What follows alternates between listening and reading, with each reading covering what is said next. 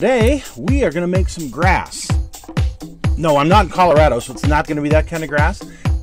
It's our techniques that are so simple and sensible, your mowers would practically build themselves.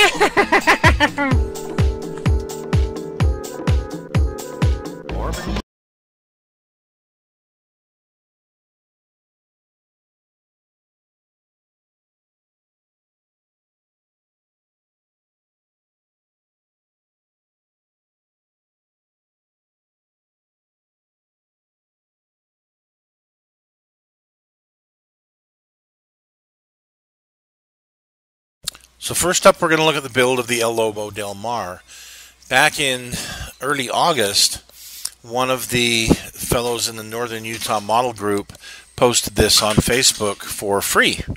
Uh, said that he'd never finished building it. He got to this certain point, and um, anybody who wanted it, well, I wasn't going to take it for free. I gave him some money for it, but um, I was able to acquire this, and the hull was mostly built. Uh, a lot of the a lot of the stuff was done here, so this was going to be easy to be able to convert this into uh, into a pirate ship. And you can see it's actually not too bad, not too bad a shape. So we're going to get started on this. Obviously, we're going to be doing some uh, some painting, but I'm going to take this stern piece off, and I'm going to use the one from the USS United States kit that I have and I'm going to go ahead and put that on. Assembled that. You saw I did a, a review on that kit oh a couple months ago. Very similar to the Constitution. There's about seven different or seven other parts that that go to it. So that's what I'm going to do to put the raised part on the stern. There's the covers for the gun ports. And so we take the uh, the back end off, and we'll start putting the uh, start putting the new back end on. Now this the colors I've chosen for this ship are this pale green from Testors, and this British British middle stone that I had left over from my Floquil paints. They're still very viable, and these are going to work great for what I need. So what I've decided to do is take one of the larger uh, boats and mounted a cannon on the front end. This was kind of something that several of the pirates would do is they would arm their, their smaller vessels um, in some of their raids. So here's that raised platform in the back. I'm going to start out by putting the wheel up here, although I eventually moved the wheel down one level. But uh, the structure that I built there on the back, the little house, is for the, the ship's bell which uh, I've got a resin uh, 3D printed one that I need to put in there. Uh, you can see the colors of the paint. Now I'm going to have to go over that tan again.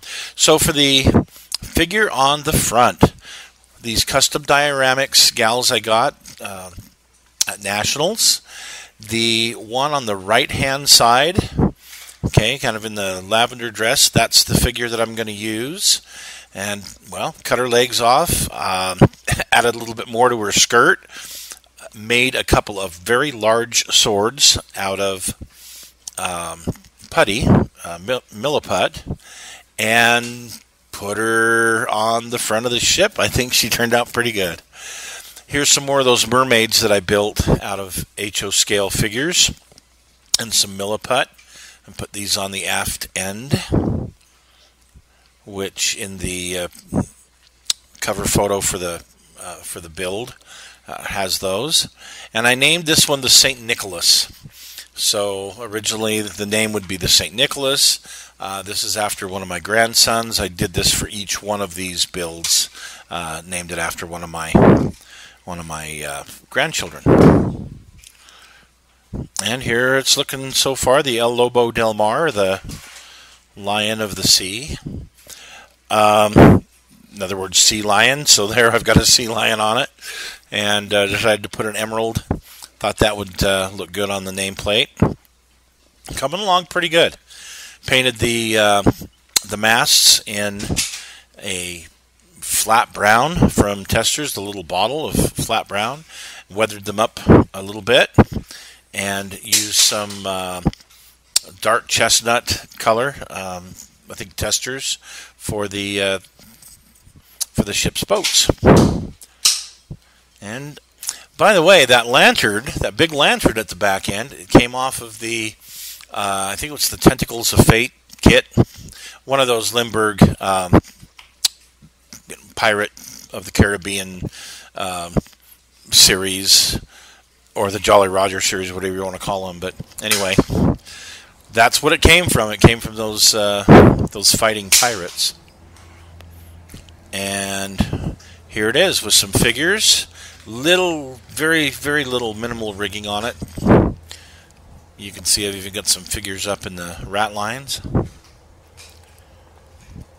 Obviously, there's a long way to go, but um, this this will work for what we're going to do with our um, with our murder mystery.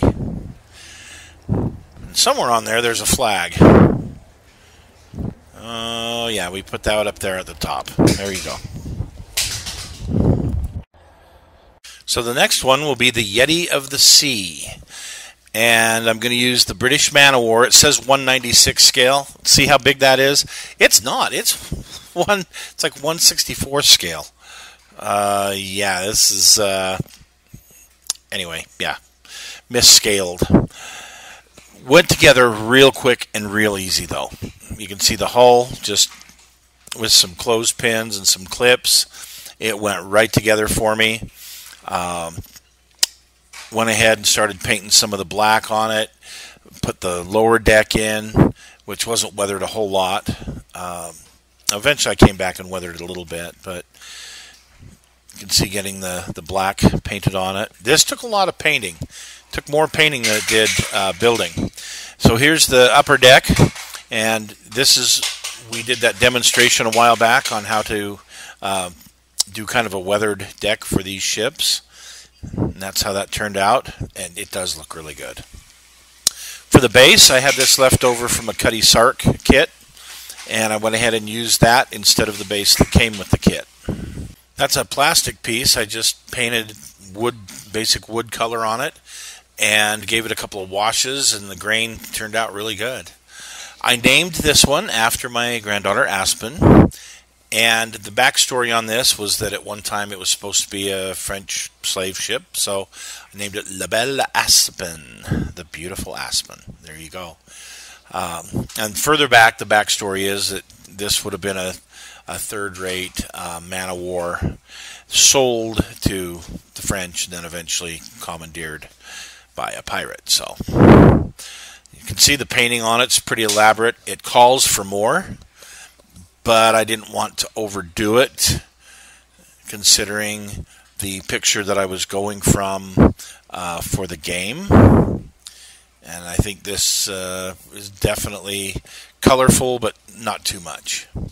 It's starting to take shape here. Got the masts up. Looking pretty darn good. So, the Yeti of the Sea, which is a Yeti crab and you see why they would call it a Yeti crab. How on earth am I going to do this? Well, uh, didn't want to make it out of clay. I could have, like uh, I could have made it out of uh, two-part epoxy putty, but I decided that I would take this um, lobster that I had, and I would try eh, converting him just a little bit. So I cut the tail off and, and did a few other little modifications, and for the pinchers, the big pinchers on the front, I had this crab from one of those Lindberg kits. Went ahead and took him. What am I going to do with him? You know, so I cut his pinchers off and decided to go ahead and use those. Originally, the pinchers that I had, well, yeah, they're definitely substandard. So you'll see how they turned out here in just a minute on the base. Now, these medallions, Again, remember I was pouring these out of resin, and all I did was partially pour it in the mold so that I could get like the skull and the cross swords without getting the entire medallion. So that's what I did, and I used that for part of the base. And you can see here how the Yeti turned out. I put a little static grass on him, uh, sprayed him white with uh, uh, with an airbrush, and then the little pirate face, and the cross swords that are resin uh, that I made out of resin from that uh, from that mold. And here's the pirate flag that I decided to fly on this particular ship. Eventually, I'll put something else there. This was made. Both these were made of cloth that I hand painted. Um, eventually, I'll come back and, and I'll do something else. But for now, it works. So, take a look around the whole thing with what rigging I have done on it, what few extra things I've embellished on it, and I like how it turned out. I think it's going to work very well for our game.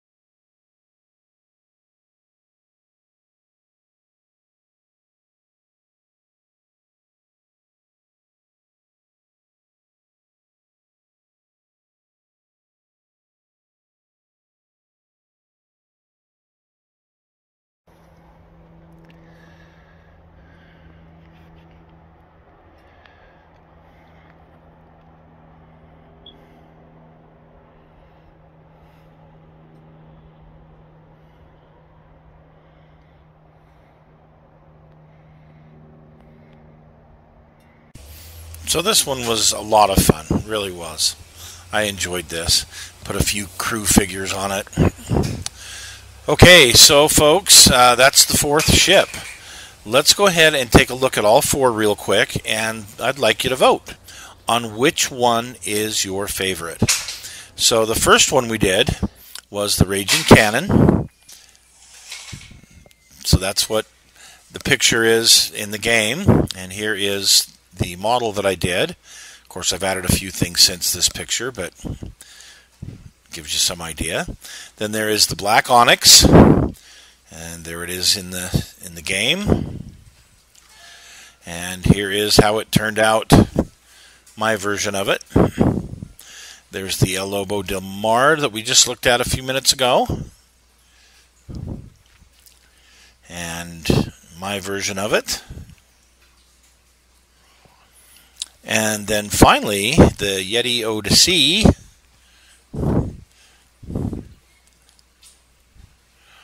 And my version of that. So vote for your favorite. Hey, thanks, folks. Appreciate you uh, joining us. And, well, we'll see you again real soon.